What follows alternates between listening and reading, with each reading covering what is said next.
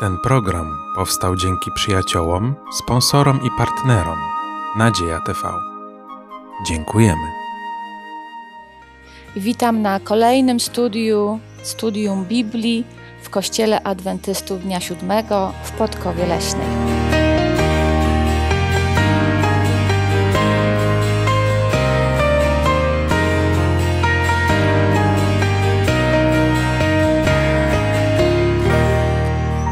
Ze mną w studium są Krysia, Asia i Halinka. I jak zwykle nie powinniśmy rozpoczynać ani czytania Biblii, ani rozmów o Biblii bez prowadzenia Bożego, dlatego pomódlmy się proszę razem. Ojcze kochany, tak bardzo dziękujemy Ci za ten prześliczny, słoneczny dzień, za to, że mogliśmy się spotkać tutaj na studium tej lekcji. A ponieważ będziemy otwierać Biblię, Twoje święte Słowo Boże, to prosimy Cię o błogosławieństwo, o mądrość, o Ducha Twojego Świętego. I nie tylko dla nas, ale i dla internautów, którzy nas teraz oglądają. Prosimy Cię o to wszystko w imieniu Jezusa Chrystusa. Amen. Amen. Amen. Kolejny już tydzień rozmawiamy na temat takiej praktycznej wiary, na temat pomagania potrzebującym.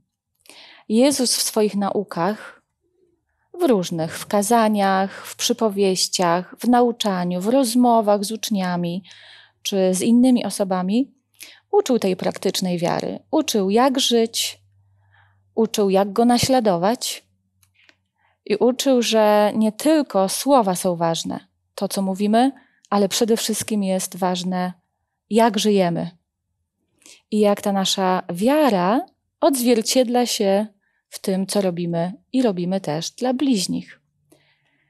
Zacznijmy może od y, rozmowy na temat błogosławieństw, które Jezus wypowiedział na początku kazania na górze, czyli kazania, które jest nazywane na górze. I tam Jezus y, mówi, że błogosławieni są ci, którzy są cisi, którzy są ubodzy w duchu, y, którzy są smutni, pokój czyniący, miłosierni.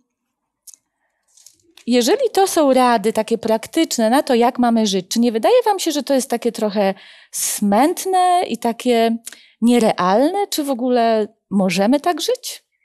Faktycznie, one wydają się takie smętne, takie nierealne, ale tu przede wszystkim chodzi o to, byśmy byli tak, no wprawdzie tacy naprawdę tacy pokorni, nie wynoszący się nad bliźnich, nad no, mających się za nie wiadomo kogo, czy, czy coś, że ktoś, czy na przykład jest biedny, no to ja już nim będę pogardzała, albo ktoś jest wykształcony, ten niewykształcony, no różne, zwłaszcza w tamtych czasach, kiedy Jezus mówił te błogosławieństwa, no to właśnie Żydzi, ci kapłani, ci lewici, to oni się właśnie wy, na, wy, wyszali na ten prosty, zwykły naród. A czy w ogóle to może jest problem dla nas jako chrześcijan? To co, my nie jesteśmy cisi, pokorni, miłosierni? Te nie rady mogą być dla nas, czy są dla innych? Dla nas tak samo, bo my też możemy się przecież wywyższać, też możemy, że jak ktoś jest z innej religii na przykład, no to ja jestem, co to ja nie jestem, nie? No, mhm. także to no, dla wszystkich są te rady. Nie tylko dla Izraela, tamtych Żydów, czy no, dla nas też, no tak myślę. Ale y, to, co Pan Jezus powiedział, to jeżeli by tak odnieść dosłownie, że mamy być tacy y, smętni na co dzień, no to życie z takim człowiekiem jest straszne. No Pesymistycznie nastawiony człowiek no, wnosi ten pesymizm dla swojego otoczenia. Ale czy Pan Jezus, gdy mówił, a szczególnie tutaj mówił do tego prostego ludu, ale mówił też do tych ludzi, którzy mienili się, że są jego naśladowcami. I szczególnie chyba tu Jezusowi chodziło o taki smutek wypływający mm, z tego, że człowiek uświadamia sobie, w jakim stanie jest jako grzesznik. Bo to nie chodzi o smutek taki że płaczemy. No, jesteśmy ludźmi, płaczemy z różnych powodów, prawda? Ale tu chodzi o taki smutek, mm, który przyciąga nas do Chrystusa i u Niego szukamy tego pocieszenia. Zresztą najlepszy taki przykład to też Pan Jezus o sobie powiedział: Ja jestem cichy, pokornego serca, a to, jakim Jezus był, to mamy sprawozdania biblijne, prawda? No i tak mi się wydaje, że ten smutek to nie jest taki, taki ludzki, normalny smutek, że z jakiegoś tam powodu się smucimy, jest nam smutno i tym smutkiem zarażamy wszystkich. Jest to smutek, który nas prowadzi do Chrystusa, a uświadamiając sobie, co Chrystus dla nas uczynił i czyni nadal, no to wtedy możemy podnosić głowy do, do góry i smutek zamieniać w radość. No też mi się wydaje, że Panu Jezusowi chyba chodzi bardziej o takie wewnętrzne tak. Odczucia, tak? Bo nawet powiedział, kiedy pościcie, no to nie róbcie tego po to, żeby wszyscy naokoło widzieli, że wy pościcie i teraz jacy wy jesteście właśnie uduchowieni, tylko gdzieś taki post wewnątrz, czy umartwianie się, czy smutek wewnątrz, tak? Bo przecież w drugim miejscu Pan Jezus powiedział, że zawsze się radujcie, no to to by się no jakby gryzło ze sobą. Więc to, to no kompletnie nie o to chodzi. My, my mamy wewnątrz naszego serca właśnie, tak jak Halinka powiedziała, że, że to jest taki smutek duchowy bardziej, aniżeli wypływający i uzewnętrzniający się po to, żeby ludzie to widzieli, prawda? Pan Jezus, przypuszczam, że y, jeśli był pokorny i cichy, to mimo wszystko się też i uśmiechał i był radosny. Y, bawił się z dziećmi i jakby no po prostu pokazał nam też swoją osobą, że są różne sytuacje w życiu, w których my różnie się powinniśmy zachowywać, tak? I to są przykłady też w Biblii napisane. Ale też tak po ludzku mówiąc, do człowieka, który jest taki, no nie wiem, ciągle coś przeżywający, ciągle jakiś taki zasmucony, to jakoś tak odpycha nas, -hmm. prawda? Tak. No, Jezus przyciągał tłumy, no. prawda? Więc to, to już może świadczyć o tym, jaki On był. Ja bym podsumowała to kazanie, znaczy te błogosławieństwa z kazania na górze, że najbardziej mi pasują dwie cechy. Pokora i skromność. No tak. I to jest to, czego Jezus y, chciał wielokrotnie nauczyć. I żeby to się przejawiało w naszym życiu, a jak jesteś, po, jesteśmy pokorni i skromni, to będziemy bardziej zauważać tych ludzi, którzy są dookoła nas. I będziemy się ustawiać jako słudzy. Bo tak jak studujemy, tak jak czytamy, y, ten cały tydzień i w zasadzie cały kwartał jest o służbie, o służbie innym ludziom i służbie Bogu. Jeżeli nie ma tej pokory i skromności, to i służba nie bardzo może wychodzić. Ale to też się, przepraszam, że wejdę w zdanie, to też rodzi się tylko i wyłącznie wtedy ta pokora e, i skromność, wtedy, kiedy ja patrzę cały czas na Jezusa, bo mój charakter jako ludzki kompletnie nie jest ani skromny, ani pokorny. I kiedy tylko odwrócę wzrok od Jezusa, od razu mm, charakter nasz, taki ziemski, E, aż się wyrywa do tego, żeby właśnie się wywyższyć, tak jak Krysia to powiedziała, że jednak e, bardzo dużo zależy od tego, na kogo ja patrzę w swoim codziennym życiu. No tak jak Krysia też powiedziała, te nauki są dla każdego z nas. No właśnie. Nie tylko dla osób niewierzących, ale dla każdego z nas, bo każdemu z nas niestety zdarza się być e, nieskromnym, niepokornym, niecichym, niemiłosiernym. Dlatego tak ważne jest, żeby te słowa czytać, rozmawiać z Bogiem i otwierać się na wpływ Ducha Świętego, żeby nas zmieniał. Mhm. Ale już przejdźmy dalej, e, bo zaraz za tymi błogosławieństwami Jezus mówi takie słowa, no niby dla nas zrozumiałe, ale pytanie, o co tam naprawdę chodzi? No, ma być, mamy być jakąś solą, mamy, mamy być światłem, Przeczytajmy może tekst z Ewangelii Mateusza, piąty rozdział, werset od 13 do 16. Wy jesteście solą ziemi. Jeśli tedy sól zwieczeje, czymże ją nasolą? Na nic więcej już się nie przyda, tylko aby była precz wyrzucona i przez ludzi podeptana. Wy jesteście światłością świata. Nie może się ukryć miasto położone na górze, nie zapalają też świecy i nie stawiają jej pod korcem, lecz na świeczniku i świeci wszystkim, którzy są w domu. Tak niechaj świeci wasza światłość przed ludźmi, aby widzieli wasze dobre uczynki i chwalili Ojca waszego, który jest w niebie. No właśnie. A jak to z nami jest? Mamy te rady wcześniej od Jezusa w czasie tych błogosławieństw, jak mamy żyć, i do tego stopnia, że jeżeli będziemy tak faktycznie y, robić, to będziemy się różnić od, od ludzi, którzy nie wierzą i którzy nie idą za Jezusem. Czy faktycznie się różnimy i czy faktycznie ludzie patrząc na nas wielbią Boga w niebie? Szczerze. Tak powinno być, ale czy tak jest? To możemy sami sobie zadać pytanie. Myślę, że najlepiej tutaj, żebyśmy my y, się na ten temat nie wypowiadały, ale żeby ktoś o nas mógł powiedzieć, że Tak. no jak patrzę na ciebie, to widzę jakiś taki przykład właśnie tego, co, co mi mówisz, widzę to w twoim życiu. Ale ja chciałabym też powiedzieć, zwrócić uwagę, co tu Pan Jezus powiedział, że On nie powiedział, że wy możecie być światłością albo solą, e, wy będziecie, ale powiedział wy jesteście. Jeżeli wy e, na swoich ustach wypowiadacie moje imię, mienicie się być moimi naśladowcami, to ja oczekuję, że wy jesteście już, a inni to zauważają. Tak? Czyli tutaj ewidentnie musimy łączyć nasze słowa z naszym zachowaniem. No, Bo jeżeli nie, to raczej ludzie Boga wielbić nie będą patrząc na nas. No, apostoł Paweł mówi, że wy jesteście listem pisanym. Piękne słowa. Ja może się podzielę takim doświadczeniem, które miałam dosłownie w tym tygodniu.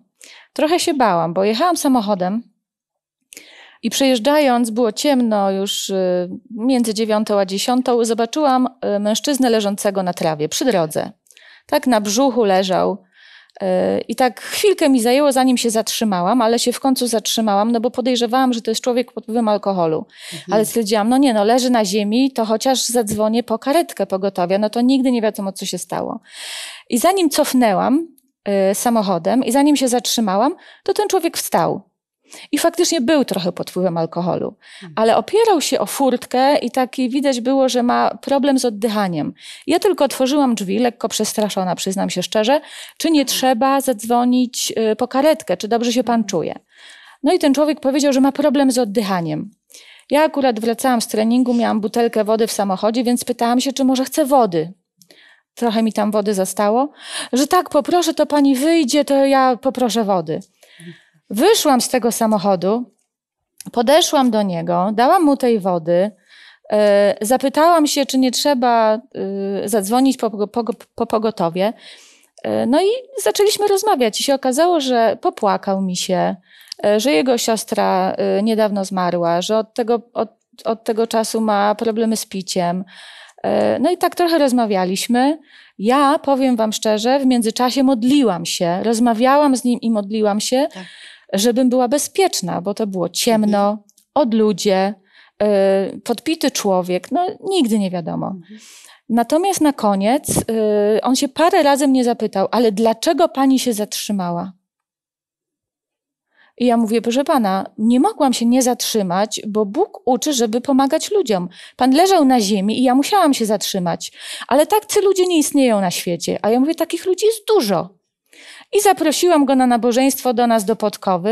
Nie wiem, czy będzie nawet pamiętał, ale y, no, to pytanie mnie tak, mi tak y, dało do myślenia, że mogą być ludzie, którzy naprawdę nie spotykają się y, z ludźmi takimi bezinteresownymi. Jest tyle niesprawiedliwości na tym świecie, tyle interesowności, że tym bardziej chrześcijanie, którzy są wierni Bogu i Ewangelii, będą świecić coraz bardziej tym światłem, bo świat jest coraz gorszy.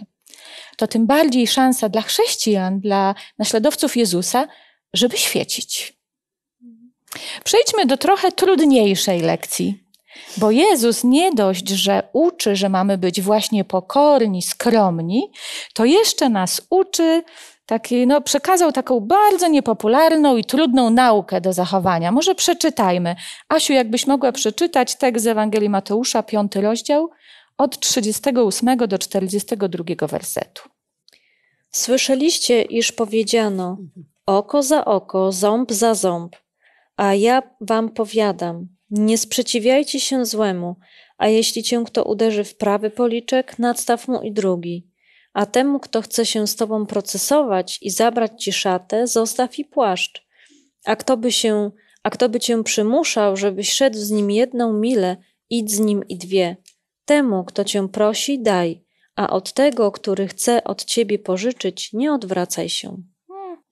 No tak, są to takie dosyć kontrowersyjne, tutaj szczególnie te wersety oko za oko, ząb za ząb, no tutaj się od razu nasuwa taki bunt, prawda, w człowieku, e, szczególnie może wśród młodych osób, gdzie ktoś tam komuś coś przykrego zrobił i, i się te, tej młodej osobie mówi, no odpuść, daj sobie spokój, y, mądrzejszy zawsze ustępuje, bo też są takie słowa, y, że Pan Jezus też tak właśnie robił, no ale w młodym człowieku właśnie rodzi się ten bunt, mówi, no jak, jak on mi tam przyłożył, czy mnie zaczepiał, to ja jemu też Tak. muszę, nie? Taki odwet, taka zemsta właśnie, nie? No ja bym powiedziała, że to każdemu, nie tylko No, młodemu. Mi się Ale też młodzi, zdarza. młodzi bardziej. Natomiast wydaje mi się, no, że tutaj Pan Jezus również nam pokazał swój przykład, kiedy, kiedy Jemu bardzo często urągano, e, pluto na Niego i, i mówiono do Niego bardzo przykre rzeczy, no On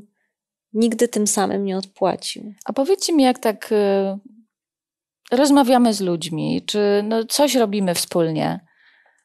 Mi się zdarzyło wiele razy, że jak rozmawiałam z ludźmi, również chrze- chrześcijanami, i radziłam właśnie, żeby jeżeli ktoś cię skrzywdził, wybacz mu, zapomnij, traktuj go jak przyjaciela.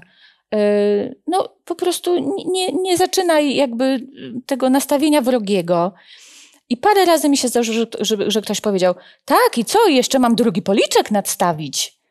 I to się wydawało tak nierealne i śmieszne dla tych ludzi, że mam wrażenie, że te słowa bardzo często są traktowane trochę ironicznie. I gdzieś tam szukamy takiego usprawiedliwienia.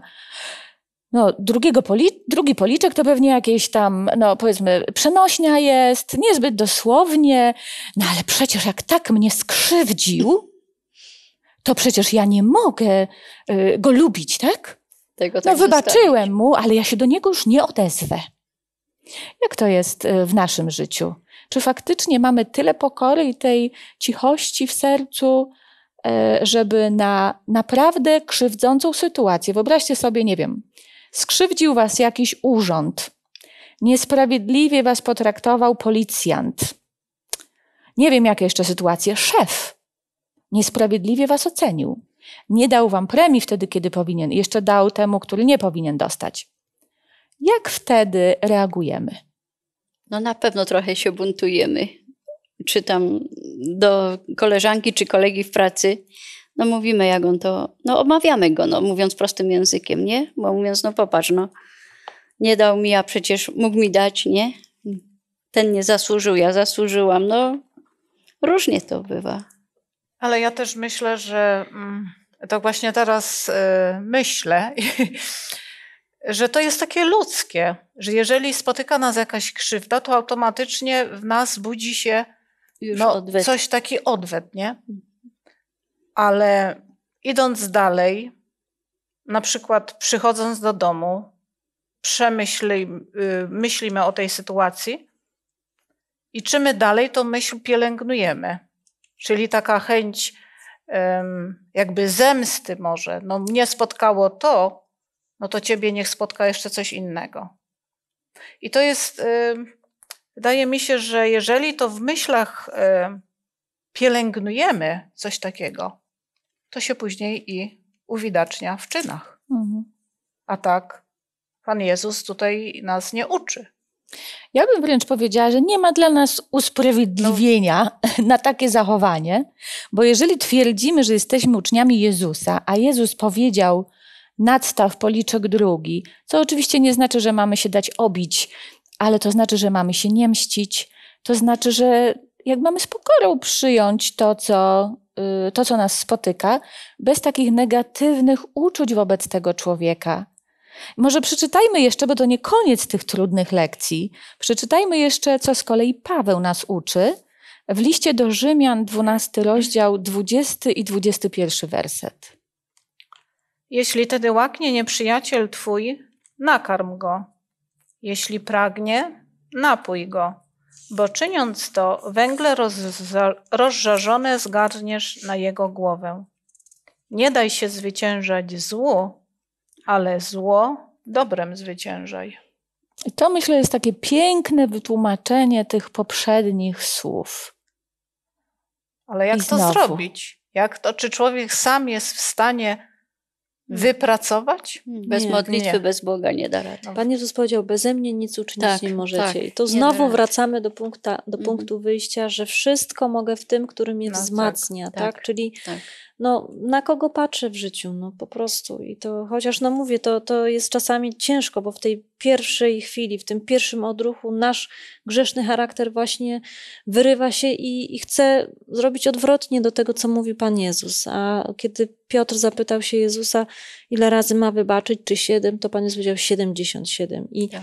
Tylko wtedy, kiedy my naprawdę będziemy w łączności z Bogiem i oddamy Mu te nasze żale, oddamy Mu tę tą naszą zemstę, to uczucie negatywne, które jest w naszym sercu, wtedy będziemy zwycięzcami. Właśnie w Nim, kiedy Jemu to oddamy, bo sami przegramy i polegniemy od razu. A jak myślicie, co się dzieje, jak faktycznie ktoś nas skrzywdzi, a my w odpowiedzi zamiast y, bluzgów, które są teraz bardzo częste, zamiast agresji, zamiast takiego negatywnego podejścia, uśmiechniemy się, podziękujemy za krytyczne słowa albo zachowanie, albo po prostu uśmiechniemy się i odejdziemy bez wściekłości na twarzy. Ja myślę, że to jest bardzo dobra rada, bo nie wiem, czy któraś z nas to już tak wypraktykowała, że tak, tak to No. zrobić. Ale to, co Małgosiu powiedziałaś, to jest y, takie świadectwo, ale żeby to było autentyczne, szczere takie, że ja to przyjmuję i tak się zachowuję. No, żeby było szczere, no to Duch Święty musi w No, nas pracować, tak? I wtedy to oddanie, poddanie się Bogu, takie szczere. Ja Wam powiem tylko to, co się dzieje w korporacjach. W związku z tym, że pracuję w korporacjach już wiele lat yy, i mam do czynienia z obsługą klienta. Gdzieś tam trochę. I takim standardowym przykładem jest to, że klient, który jest najbardziej niezadowolony, jeżeli jest wspaniale obsłużony, staje się największym zwolennikiem y, produktu albo firmy, albo marki. Mhm. I to jest taki standard. Ci, którzy najbardziej krzyczą, ale zostaną dobrze obsłużeni, potem są takimi osobami, które wręcz namawiają innych do kupowania tych produktów. I to jest dokładnie to, co może się stać, jeżeli my z takim naszym, po prostu z taką miłością Bożą, podejdziemy do człowieka na zasadzie, nieważne co ty mówisz, y, może pomoże zrozumienie, że ten człowiek może ma zły dzień, może coś mu się w domu stało albo w pracy, w zależności gdzie jesteśmy, może ma takie jakieś problemy. Ja zawsze mówię w takiej sytuacji, nie denerwuj się, ten człowiek prawdopodobnie coś przeżywa. I niestety ta frustracja się uzewnętrznia. Trzeba mu dać trochę czasu, trzeba potem na spokojnie może porozmawiać, ale nie wchodzić w reakcję, szczególnie taką negatywną, jeżeli ktoś bardzo negatywnie czy niesprawiedliwie nas traktuje. Ja bym chciała powiedzieć takie, no nie wiem jak to powiedzieć, doświadczenie, nie doświadczenie. Po prostu jechałam kiedyś y, na działkę i tak byłam, ja wiem, z 5-10 metrów od bramki, a stał taki, y, tam otworzył sobie y, bramkę, no taki człowiek, no taki niechlujny, no to powiem, no tak biednie ubrany. I on widząc mnie, że ja jadę na tym rowerze, otworzył tą bramkę i czeka na mnie. No to ja wjechałam i mówię, dziękuję panu bardzo. A on tak na mnie stanął, popatrzył na mnie, a dlaczego pani mi dziękuje? Ja mówię, no jak to dlaczego? No dlatego, że pan taki grzeczny i otworzył mi tą bramkę, zaczekał pan, aż ja wjadę, ale mnie się nie dziękuję. Ja mówię, a to dlaczego? No wie pani tak mnie? Ja mówię, co? Jest Pan człowiekiem, każdego Pan Mhm. Bóg stworzył. Wiecie co, on, on miał taką dziwną minę, tak stał, taki zaskoczony. Ja już siadłam na rower, pojechałam, a on jeszcze przy tej bramce stał. No nie wiem, czy lekceważył ktoś nim, czy co, no. Biedny taki człowiek był. Piękny No. wstęp y, do kolejnej historii, czy przypowieści, którą Jezus opowiedział. y, Przypowieść o miłosiernym Samarytaninie. Przypowieść jest y, opowiedziana w Ewangelii Łukasza w dziesiątym rozdziale. Nie będziemy jej czytać. Myślę, że każdy z nas ją zna. Y, Jeżeli ktoś nie zna, to polecam przeczytać w Ewangelii Łukasza dziesiąty rozdział.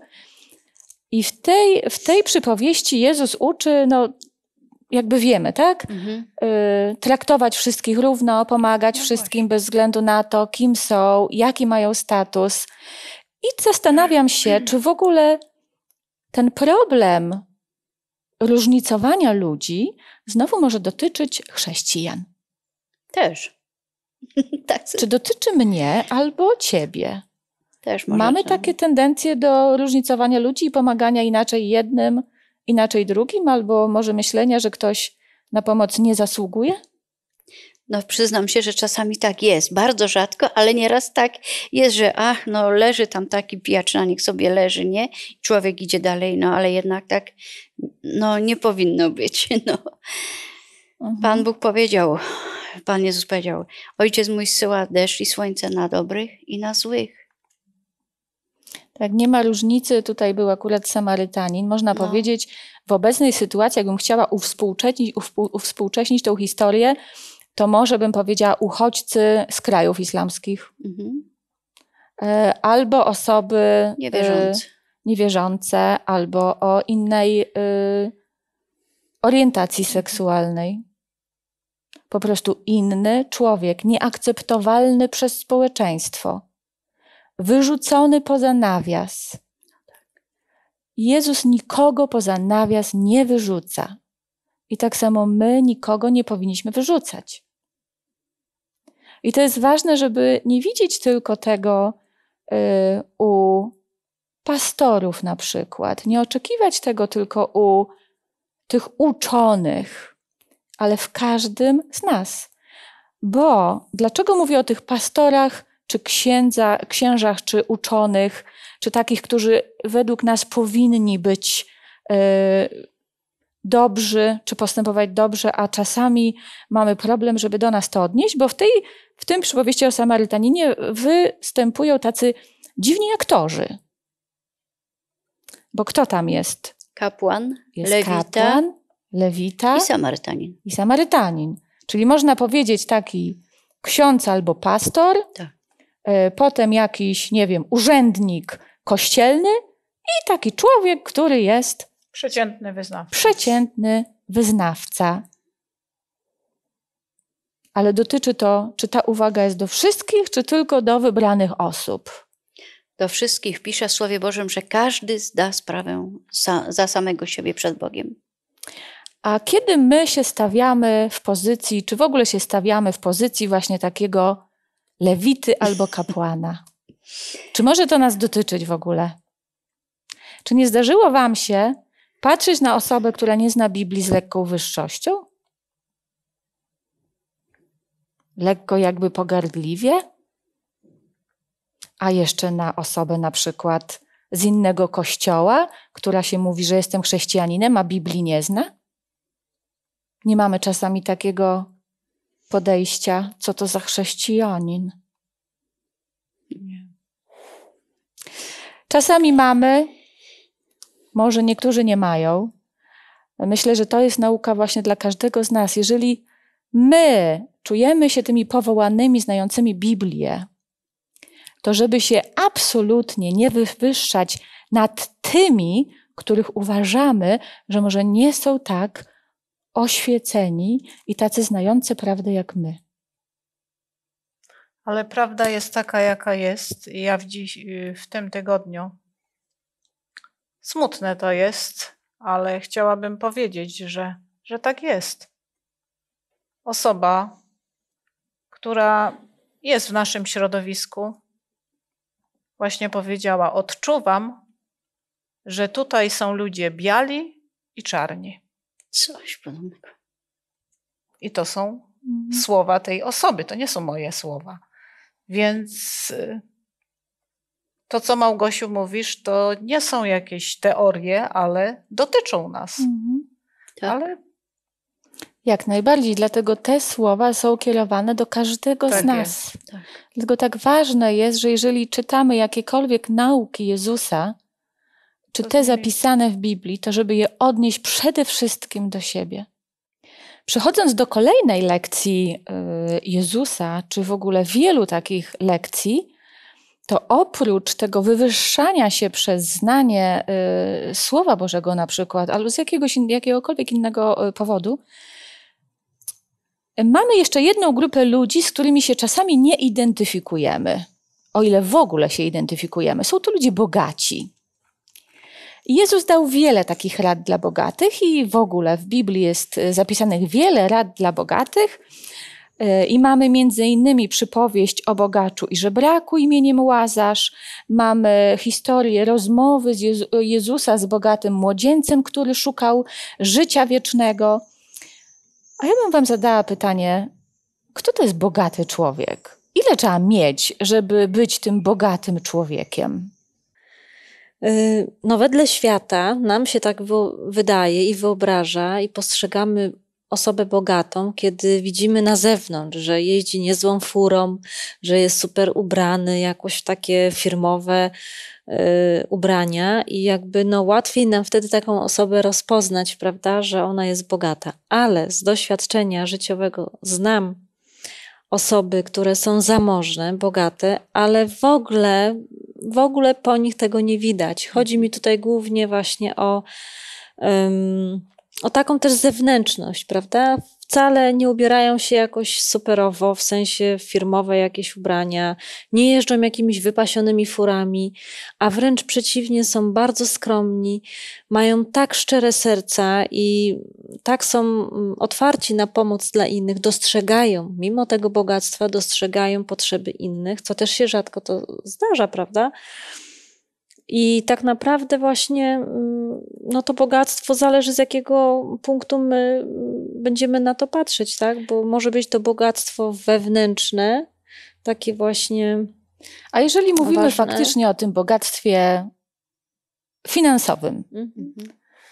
y, bogactwo jest złe finansowe? Posiadanie dużej ilości pieniędzy, bogactwa nie, jest nie. złe? Nie. Nie, tylko wydaje mi się, że Pan Bóg też wie, kogo obdarzyć tym bogactwem. No bo jednemu bogactwo może uderzyć do głowy i rzeczywiście może się wtedy odwrócić od Boga i zapomnieć y, o takim y, odruchu ludzkim, tak, w stosunku do, do ludzi innych. Ale są też tac, takie osoby, którym Pan Bóg daje to bogactwo, bo zna serce tego człowieka, że ono będzie hojne, będzie szczere do tego, żeby się dzielić, No, a mamy- nawet jeszcze pomagać, tak? Mamy na pewno ludzi bogatych, którzy wcale nie pomagają, więc różnie to bywa. No to różnie to Natomiast bywa. czego o bogactwie uczy Biblia? Że złe jest bogactwo wtedy, kiedy całym sercem do niego lgniemy, bo gdzie jest skarb wasz, tam będzie i serce wasze. Jeśli staje się bożkiem w naszym życiu. Tak, tak. A teraz powiedzcie mi, czy jesteście bogate? Czy któraś z was jest bogata? Na pewno biedne Tak. nie jesteśmy. No nie. Jesteśmy finansowo, bogate. finansowo, ja nie mówię duchowo, finansowo. Nie, nie, nie. Ja myślę, że. Bardzo, Że dlatego, tak, że- że... to w ogóle mm, właśnie nie ma.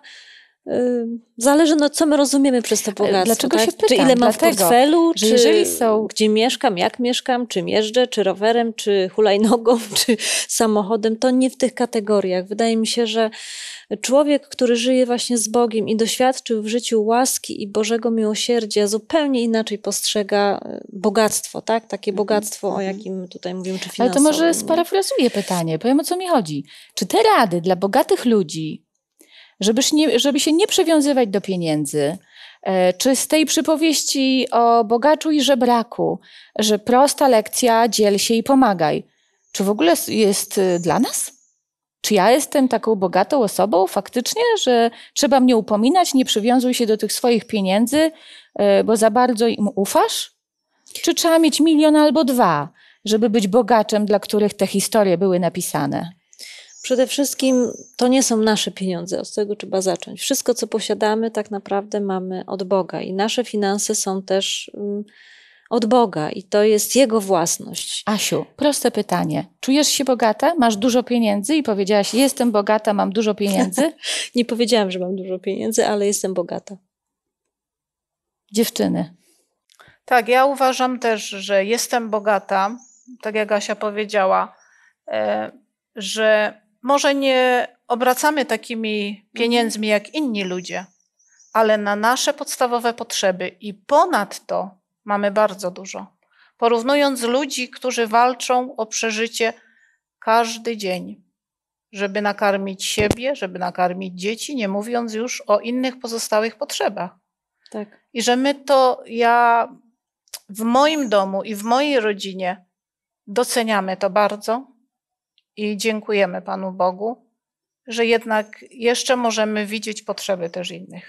Dokładnie. Jeśli pojeździsz na, na misję i zobaczysz w tych takich krajach biedniejszych, albo nawet posłuchasz doświadczeń misjonarzy, którzy jeżdżą w takie miejsca i pokazują ci zdjęcia tych ludzi, jak oni mieszkają, to naprawdę mm, no, aż w sercu człowieka się rodzi taka wdzięczność za to, że i nawet takie przepraszanie też Boga, że nie zawsze potrafimy docenić to, co mamy, prawda? I to wyzwala w nas właśnie tą ogromną właśnie wdzięczność za to, że, że Bóg nam tyle dawał, ale rodzi również pragnienie zareagowania na te potrzeby właśnie, żeby coś od siebie też dać, jakieś parę chociaż, no, no czegokolwiek, tak, żeby w te biedne kraje też mieć udział w tym wszystkim, żeby się dzielić i to Pan Bóg na, w nas zasiewa też i tutaj będzie kolejny tekst właśnie. Czyli tak naprawdę y, to może się okazać, że te przypowieści i historie, które Jezus kierował do bogaczy, są znowu do każdego z nas. Oczywiście.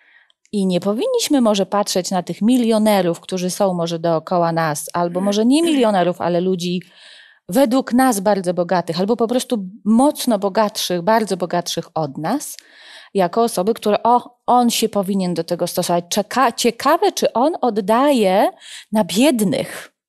Ciekawe, czy on pomaga. Ciekawe, czy on oddaje dziesięcinę. Ciekawe, czy on się dzieli. Jak powinniśmy reagować na tę historię? Czy ja się dzielę? Bo Bóg daje nam dużo. Zawsze, jak myślę o sytuacjach, jak ocenić bogactwo, przychodzi mi do głowy y, historia o ubogiej wdowie. Bez względu, ile masz, zawsze możesz się dzielić.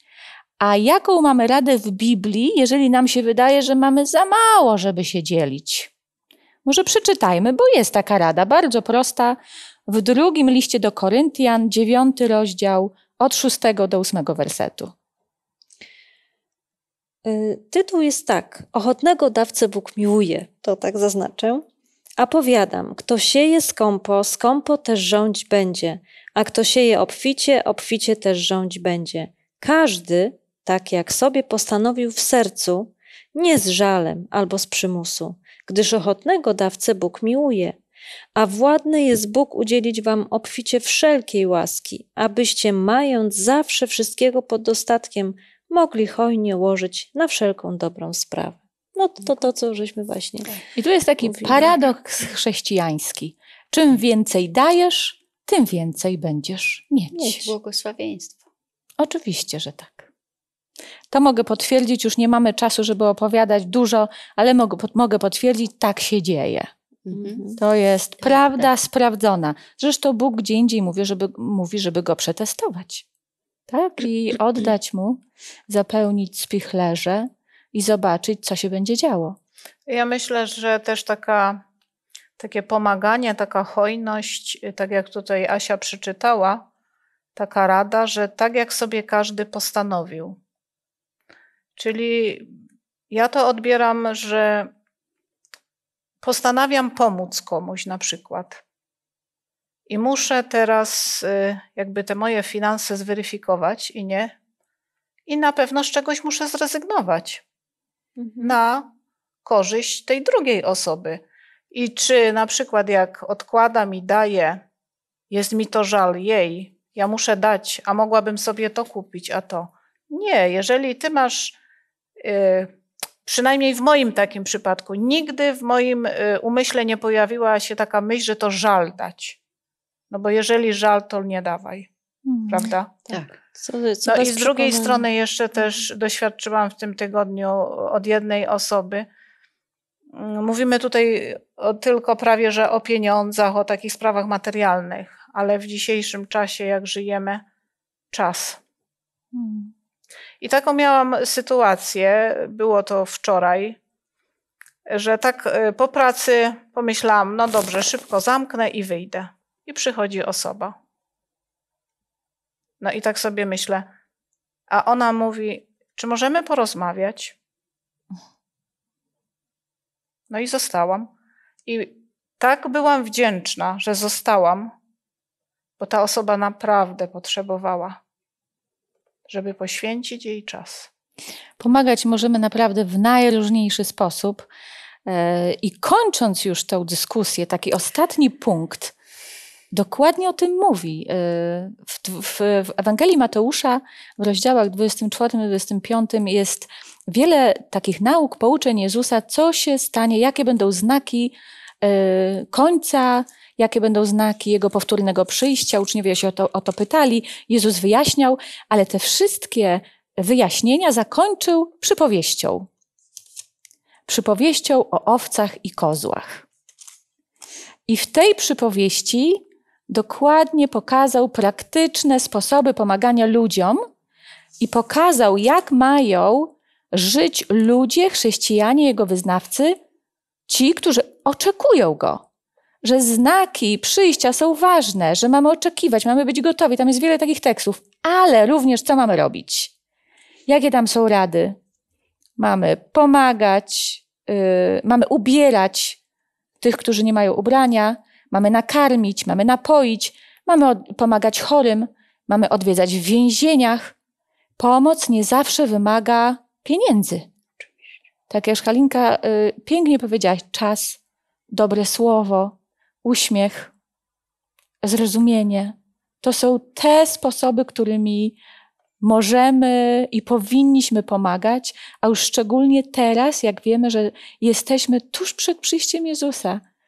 I zarówno my, jak i inni, innych ludzi, czy, znaczy nas innych ludzi trzeba ratować. No, czym, czym bardziej pomagamy, tym, na tym polega ta służba praktyczna, służba Bogu, służba ludziom. Może z tej przypowieści o owcach i kozłach przeczytajmy takie znamienne słowa, które tłumaczą, czym jest służba dla ludzi. Poproszę o przeczytanie tekstu z Ewangelii Mateusza 25 rozdziału i dwa tylko wersety, 40 i 45. A król odpowiadając powie im: Zaprawdę powiadam wam, cokolwiek uczyniliście jednemu z tych najmniejszych moich braci, mnie uczyniliście. Wtedy im odpowie tymi słowy: Zaprawdę powiadam wam, czegokolwiek nie uczyniliście jednemu z tych najmniejszych, i mnie nie uczyniliście. Zobaczcie, komu my służymy, pomagając ludziom. Właśnie, Bogu. Bogu. I wracamy do tego sedna tej nauki. Praktyczna wiara. Jesteśmy naśladowcami Jezusa, wierzymy w Boga. Jezus dał nam, Bóg w Biblii dał nam wiele, wiele rad i lekcji, komu pomagać, jak pomagać, kto powinien pomagać i w jaki sposób możemy pomagać. A jeżeli, tu już taka rada, jeżeli ktoś nie wie, jak pomagać, to co możemy robić? Modlić się też. Modlić się, dokładnie, pomodlić się. Czasami ludzie się boją pomagać, bo boją się, że będą wykorzystani, że teraz tyle osób wyciąga rę, rękę po pomoc, a tak naprawdę może to jest ktoś, kto nie, nie chce mu się pracować, to dlaczego ja mam mu pomagać? Jest powiedziane w Biblii, kto nie chce pracować, Niech nie je. niech nie je. Ale trzeba się modlić, szukać nowych możliwości. Ja tylko na koniec, ostatnie doświadczenie, kiedyś byłam tutaj niezwykle e, zbudowana i wzruszona doświadczeniami, czy taką relacją z pracy pastora w więzieniach. To było parę lat temu. I tak sobie zaczęłam się modlić wtedy, żeby, żeby Bóg dał mi okazję też takiej pracy w więzieniach. E, I tak się złożyło, że od wakacji w tamtym roku koresponduję e, z więźniem. E, Super. Teraz dostałam adres do aresztu, żeby korespondować z kolejną osobą, która trafiła do aresztu. E, Więc Bóg naprawdę odpowiada na takie modlitwy i są najróżniejsze formy pomocy.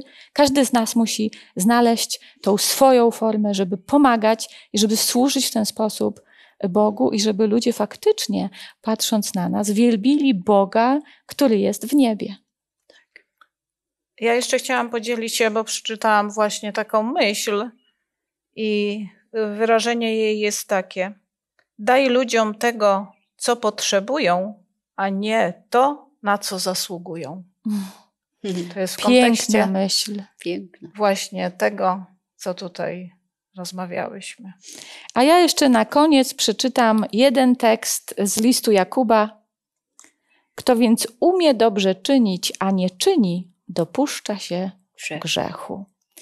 I niech nasz dobry Bóg każdego z nas poprowadzi i natchnie, żebyśmy wiedzieli, jak pomagać i żebyśmy faktycznie wyżywali tą naszą wiarę w praktyce.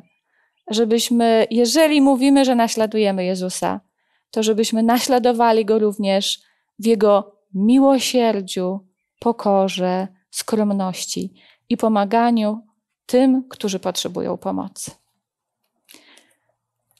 Dziękuję bardzo za to wspólne studium Biblii i za te rozmowy.